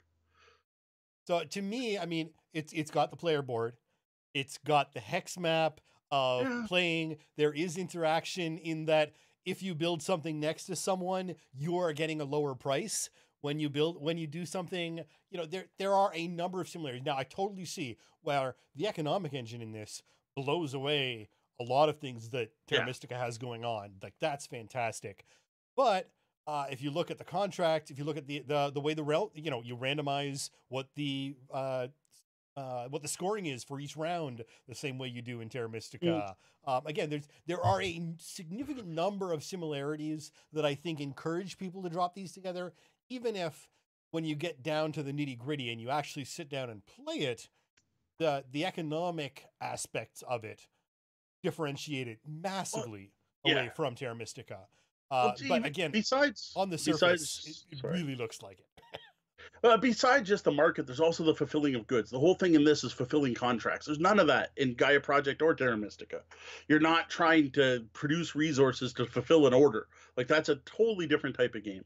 Like no, yes, but, but you but the, but there are things in uh in in Terra Mystica where you know if you you've got your uh your the tokens when you when you pass your turn, you pick up your token and no, you're not trying to fulfill that, but you are getting bonuses based on what you do on that tag. So if you know if I pick up the one that's going to give me bonuses every time I build a you know uh, a trading house, I'm going to be building trading houses that yeah. that turn based on that token I have picked up. So again, uh, a similarity to me that's like a generic different. Euro game again, thing. Similar. It's because of the number of similarities, even though again the games are very different.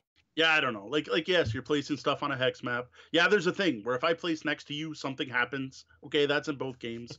Though what happens is completely different. I got yeah, okay. And and yes, there's the asymmetric player powers. Now that one, that yes, the the the clans do feel kind of like the various different factions the other game. But again, that's something that's in other games, right? Like Tzolk'in has that. You're gonna draft actually Tzolk'in. Tzolk'in with Tribes and Prophecies is really close to this because one of the things you do in this that I skipped over, it's in my full review, is is you lay out a number of clans equal to the players plus one, and then there's starting resource tokens that are placed next to them. So you're going to pick a clan and a starting resource token to see what you get at the start, instead of like Terra Mystica where you just click the board. Where Tzolk'in is identical. You literally are going to pick between your various tribes, and there's going to be a starting resource token, and you pick both. And I'm like, to me, the, then why aren't those two games thrown in the same boat? I just, I don't know. It, it, it gets me. That that people like to throw them together. Like I, I, I think they have some things in common. It's it's true, but most board games have things in common with each other. Like they're inspired by each other. These aren't the same designers. They're not the same publishers. Like like people seem to talk about this game as like the third in the series, and I just I don't see it as a series. Yes, it, it has some stuff together. I I don't know what whatever.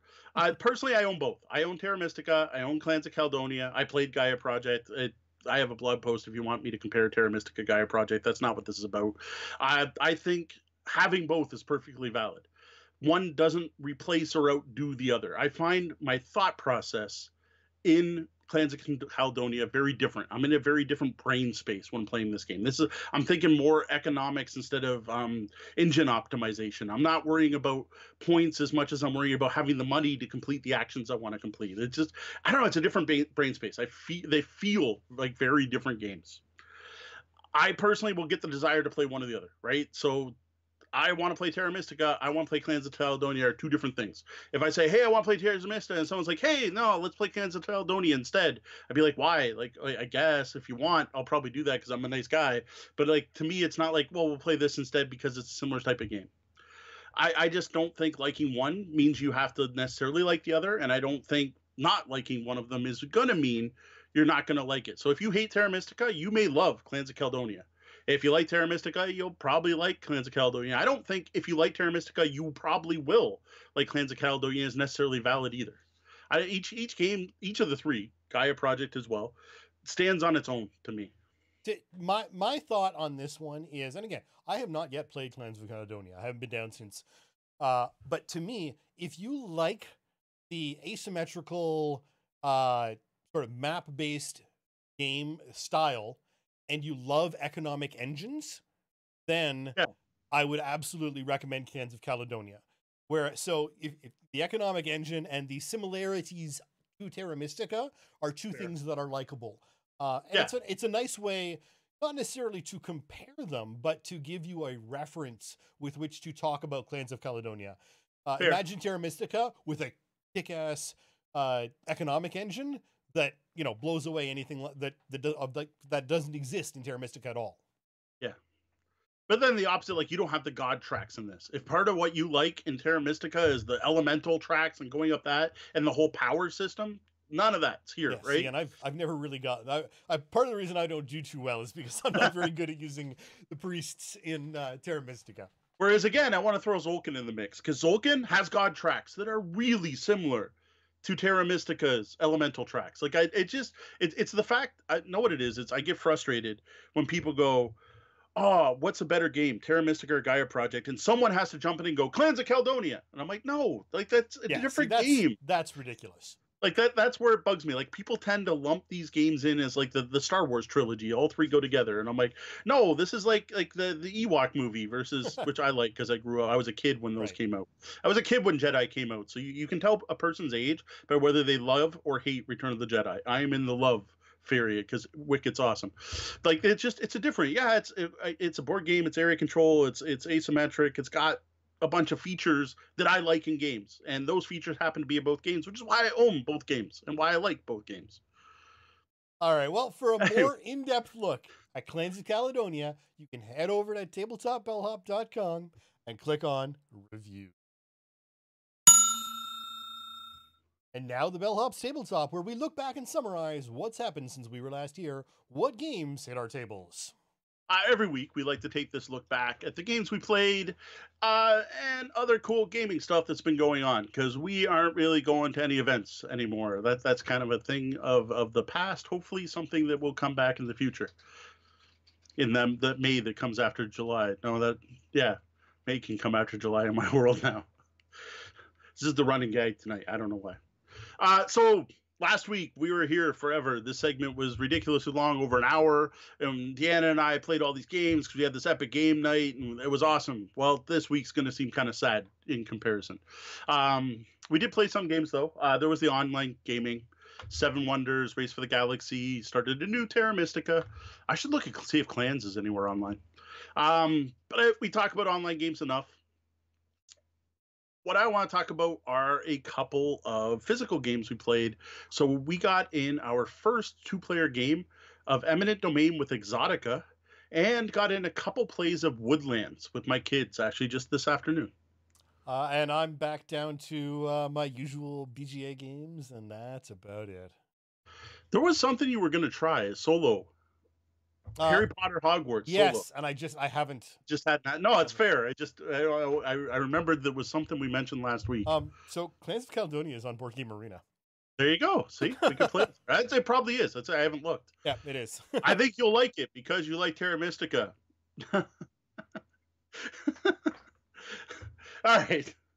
Starting off with Eminent Domain. All right, this is our first time breaking out the Exotica expansion and WoW uh, learning game um, I reviewed the rules before starting, and I strongly recommended playing several games of just the base game with Exotica before combining it with the other expansion, Escalation. So we did that. We were smart. We didn't go, ah, we're gamers. Let's throw all together. And I gotta admit, I'm glad we did it. Uh, we pulled all the Escalation stuff off out and just played the base Eminent Domain with Exotica.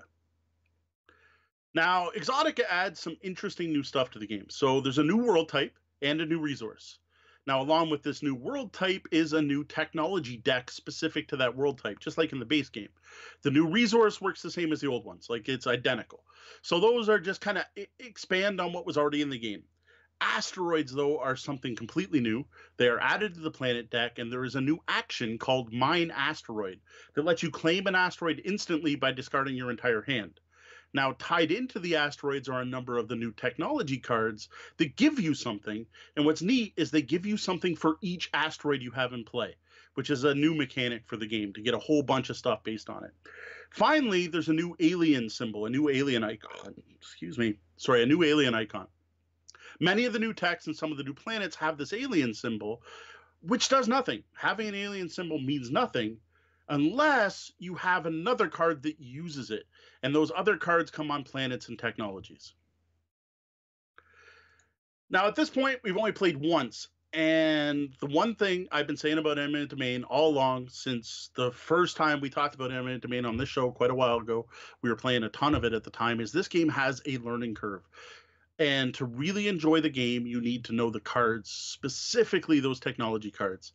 And this is a game that plays better and the more you know the game and the more you play with other people who know the game. This is a system mastery game. It's like I, I like I hate comparing this to chess because one's a very abstract game and this not, but it's that game where you want to play with people at the same level as you, and the game just gets better the more those people learn the game.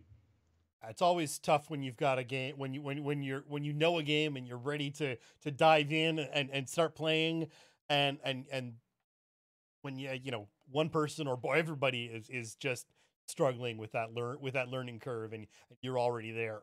Yeah exactly. Now what i will say at this point again only one play is i i liked what i saw of the new elements. Um i like the two stage feel. I liked that uh, you have resources that literally do nothing for you until you have the right technology in play. And while there are technologies that are completely useless until you have that right resource in play, whether that be aliens or asteroids, I actually like the, that that feel. It just feels neat, and and something about it felt sci-fi, right? Like I, it just tied in the mechanic, that the whole concept just made me feel like, oh, I have alien tech and asteroid mining, and I don't understand the alien tech until I've developed this other thing to use it. Just how, felt very cool and sci-fi to me. Now, Woodlands. This time, um, we played for the next two scenarios. We had played the Little Red Riding Hood before. This today, we played Robin Hood and the King Arthur quest. Now, for those of you who don't remember me talking about this game before, this is a Ravensburger family weight game I would possibly kid weight, possibly kids game. Adults are. I definitely enjoyed it. So it's it's family weight, um, where it's designed around transparent overlays. There's a transparent overlay in the center of the table. you read out the story and your current quest and the mission, and then you're going to take tiles and you're going to build a three by three grid of tiles using nine tiles that's going to make a series of paths um, and forests.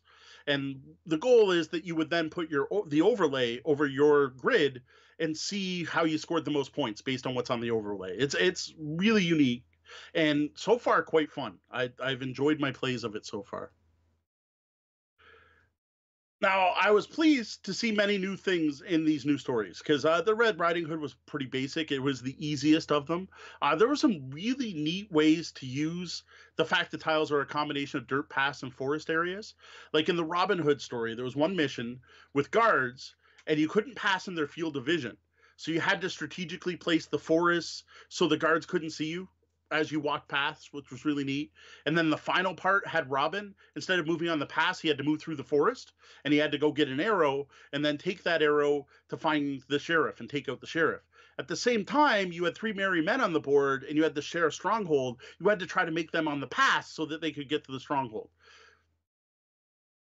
Now the Arthur mission. Lot, there's a whole lot going on there. This is way yeah. more complex than just finding your way through the from from, through from the point A to point yes. B without crossing anything you're not uh, incorrect. Yeah, exactly. Like, like, the, the first one was basically get point A to point B and don't move over any mar- mushrooms, right? right? Like was the kind of story where this was definitely a lot more involved. Now the Arthur missions were definitely the hardest, uh, like really hard. Like this, to be honest, was a little bit much for Gigi, my youngest. Um, she finished three out of four rounds with zero points, and actually would have gone negative had the rules allowed for it. Like they're much more unforgiving. Uh, a lot of this was due to interesting path building rules, with lots of having to have either something in the path or in the forest or making sure things weren't in another. So there were one of the things where there were guards and they were carrying torches. Well, if they were in the forest, they'd light the forest on fire. And there are campfires, and the campfires are safe on the path. Another one though was that um, there was a hailstorm. Hailstorm in the forest is fine; it doesn't hurt anyone. But hailstorm in the path would be bad. And having to deal with multiples at once was pretty interesting. So, and then the other one was cutting off icons. So it's like you can't make sure the icon can reach the other icon by using forests and paths. Oh yeah, so they, they they really increased. I mean, this is this yeah. is not a nice linear increase. I mean, this is sort of exponential difficulty boost over those first ones, the way you've described them. Uh, yeah, in a way, but the thing is, you're playing through um for uh Robin Hood. It's five missions. Okay. For King Arthur, it's four. So they ramp up slow enough. Like that. So what happened with the Robin Hood is the first Robin Hood, you just had to meet up with the Merry Men. But there was one thing you had to watch out for, and I don't remember what that was. The second Robin Hood introduced the um, the campfires that could light the forest on fire, but was still uh, get from A to B. But make sure your campfires don't go in the forest. Then they threw the guards in with torches. So again, it's progressing to the now you got to worry about guards and they can light things on fire. Then it went to the one with the guards with line of sight so at this point, you knew all the guard rules, you knew the fire rules. Now you got to worry about line of sight. And then there was the funky final one where Robin Hood's in the forest and everyone else is in the paths. So like that progression, I think taught it to us. Like the, the kids picked it up well enough but just there was so much going on in the Arthur. Like there were just so many symbols, so many, right. so many things to look at. Like I had a hard time. I did not win the second game, like even close when we played Arthur. I got destroyed. Part of that is though you can get treasure chests during the game, and some of those you can play against your opponents. And I had to play around upside down, which the game's hard enough as it is. Trying to do that mental math in my head did not work. Um, the other thing we did try was the harder backside of the tile. So I don't know how many it is. You play nine you always have some left. I'm going to guess you have 12 tiles that you get to pick from every round. They're not randomized. Everyone has the same set. Uh, you can flip those over, and on the backs there are brambles and water.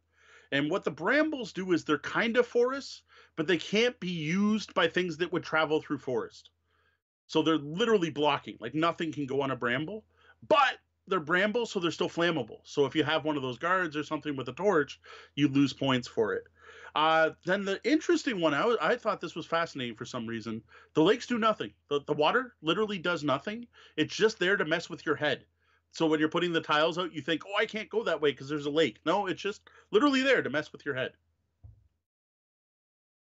So overall, the biggest thing that I think everyone's going to be worried about with this game is the replayability. And I will say, just swapping to the backside of the tiles really does open up a whole new level of play.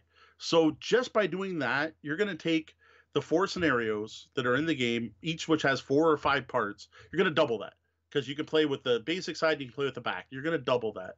And it feels very different with or without them. Now, we have one more quest to complete, which is the story of Dracula. Um, then we're probably going to go back and play the original ones again with the backs of the tiles. Uh, then there's also that special haunted haunted forest overlay, and there's a unicorn overlay that can be used and added to any mission. So, like to be honest, when I started thinking about this and I started doing the math, I don't think replayability is really going to be that bad. So you got four quests. You do each one with the front and the back of the tiles. You're at eight plays. That's pretty good for games. Kids tend to play more than that. But then you do each of those again with the unicorn. Now you're up to 16 plays. You do it again with the haunted forest. You're up to 24 plays, and that's experiencing every possibility once without ever replaying one. And I gotta say, I did so bad in that Arthur mission. I want to play it again. So you're going to get like 24 completely unique plays out of this game, as well as wanting to replay some of them. I'll admit, I don't have a lot of desire to go back and play Red Riding Hood with the base tiles again.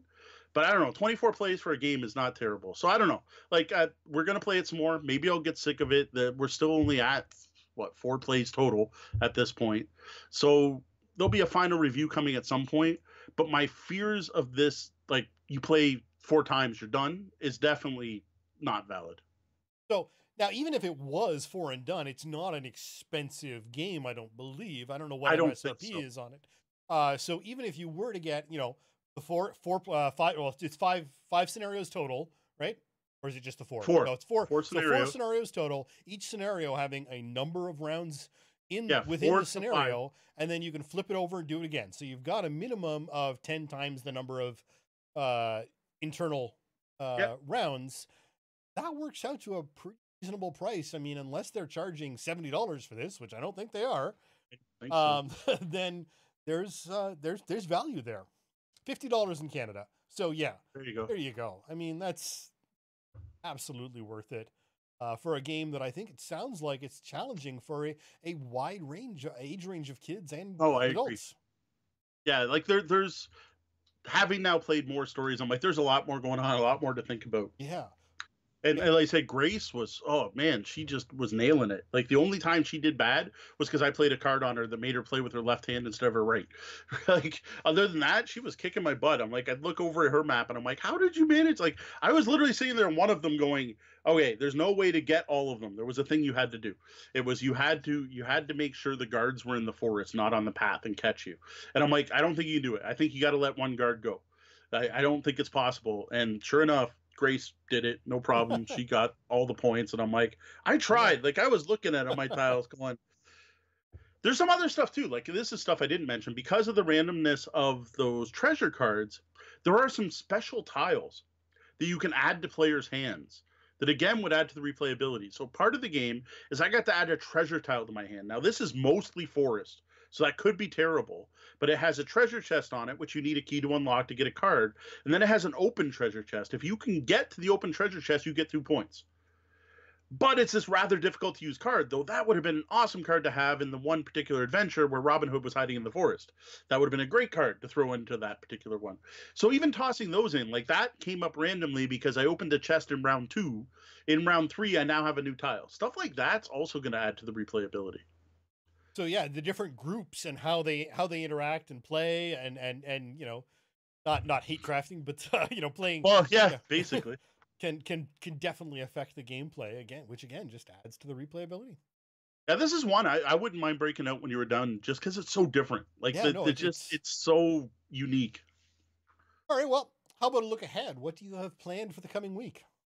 All right, I know I mentioned it what three or four weeks in a row now about unboxings. I gotta admit this this past week um, I had a colitis flare up. I have not been feeling 100. percent um, Actually, feeling quite better now, but I, on the weekend I was rough, and I was not feeling like up to recording anything. Like Sean's telling me I'm not allowed to do five in a row. I don't know if I would have got through one if I had enough energy for that. Got a lot of Netflix watching in. Um, the the the new season of. Uh, the Medici was pretty good. Uh, I binge watched that. Um, so yeah, I, I need to get some unboxings done. Part of that is I've got some cool new stuff from Bicycle, which I am looking forward to getting to. So Bicycle Games, like Bicycle, the, the company that makes playing cards, is now getting into hobby board games. They're calling them light strategy games. I've got two of those that I'm going to be taking a look at. Those were just announced yesterday. I've had these for a little while. wasn't allowed to talk about them, so I'm looking forward to that. And well, I've got that massive Eclipse box, which I still don't know how well I'm going to be able to unbox here on this table, but I'm going to try. We'll see if it works out. So I got to get these unboxings done. I have a feeling I should be able to get to it this coming weekend. Um, I don't know when. Maybe even tomorrow. Maybe Friday. We'll see. Well, we got, it's a little got, hard with the kids home. So I got I get two more. We got two more weeks of of, of wiggle room. So there you go. Hall of Heroes and uh, Lord of the Ring Journeys are are still in our queue.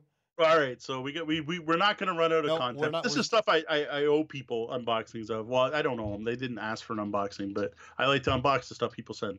This is new pile of obligation stuff. Even even in uh, quarantine. I'm still reaching out to publishers. I got stuff coming too that hasn't shown up yet. I got some awesome looking stuff coming. The latest Valeria game. We're gonna get to see that here because they're smart and didn't tell me don't buzz for your game. So that's the one mistake. Bicycles. The bicycle has made two mistakes so far. For one, here's a little insider info.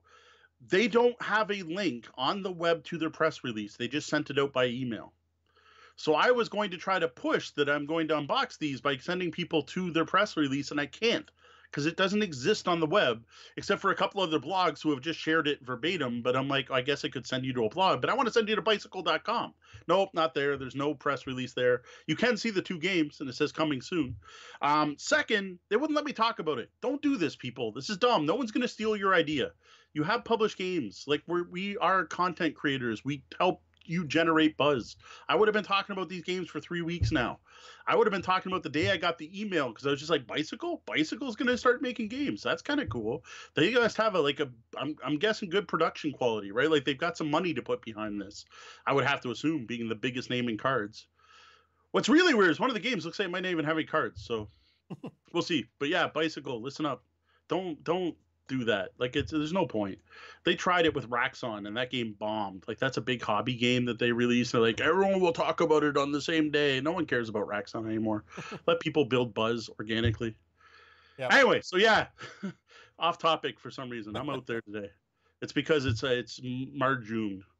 Um, the other thing is Shadowrun Six World Box Set. That's something I realized is in the pile of obligation that I can review while we're in quarantine because I was never really planning on getting it played anyway. Like it'd be nice, but you guys all know on the podcast how often I get my RPG group together, and that's really going to happen now. Come on. So all I plan to give them is a read review. So I am going to sit there and read through the Shadow World Sixth World box set. Um, I don't know how much is in there, to be honest. I remember doing an unboxing video, and I remember being impressed that it was significantly more content than the fifth edition box set. Well, the if you go to the YouTube Del- Tabletop Bellhop channel, you can yeah. see the unboxing for. Yes. You can see just how much. If I remember though, like there's like it might take me more than a week to read all the books. Is what I'm saying, right? I can't remember how much content is in there, and then I will do a detailed like chapter by chapter breakdown all the books, review just like any of my other RPG reviews. And then if I can get that done by next week, I'm gonna maybe aim for an RPG content topic next week as well. We did mention some RPGs today, but like an actual RPG topic. And we, uh, I have just uh, set up a games of Clans of Caledonia on BGA for us. To, there you go. For us to all join in. So uh, hopefully, I'll have something to say about that next week. That has nothing to do with Terra Mystica, or maybe it is. I don't know. Yeah, maybe you'll play it and be like, "This feels exactly like Terra Mystica. Like Terra what the Mystica. hell are you talking about?" I, I don't know. Like I said, I think my main problem we're back on that topic is is my frustration at people throwing it in. Like yeah. just that no, that's absolutely. the biggest one. And I get that. And I wasn't trying to do that. I was definitely yeah. I, I it, it, to me it's just a way of sort of giving it a, a push in a direction because of some similarities that happen to be. Well, yeah, there's five thousand or ten thousand or hundred thousand games out there. It's Terra uh, Mystica, but with Scots. And economics. And economics. And no gods. And no fantasy. Now a quick shout out and a thank you to some of our VIP guests. Our Patreon backers, we greatly appreciate their support. Danielle Thomas. Thanks, Danielle. Sean P. Kelly. Thank you, Sean. One of these Mondays, I'll actually remember it's Monday and you're recording, and I'll show up and watch you live again. I apologize for forgetting every dang week. I've been hanging out. I had a good one this week on okay, uh, some. Uh, I had a guest on the show this week, even. Uh, Andrew Dacey Thank you. Diane Tuzano. Thanks, Ma. Misdirected Mark. Join the Misdirected Mark team every Tuesday night at 8 p.m. Eastern as they talk games and game mastering at twitch.com slash misdirected mark, but show up on time or you will miss their cold open because of the ad. yes. See, they should be running ads before everyone shows up. Well, that was the double bell. Ah, that means my shift's coming to an end and we're going to have to lock those front doors. Though the doors to the lobby are closed, you can always find us across the web and social media as Tabletop Bellhop, one word. Drop by our website at tabletopbellhop.com for more gaming content. Uh, if you like the content we're providing and would like to support our continued efforts, please consider tipping your bellhop at our Patreon, patreon.com slash tabletopbellhop. Remember to join us here on Twitch every Wednesday night at 9 p.m. Eastern and watch the Tabletop Bellhop Gaming Podcast to hit your podcatchers and YouTube at 2 a.m. Eastern every Tuesday. Well, that about wraps up the time we have for the show tonight. For those of you here live, thank you for joining us and be sure to stick around and join us in the penthouse suite for the after show. For Tabletop Bellhop Gaming Podcast, I'm Sean. And I'm Moe. Thank you. And game, game on. on.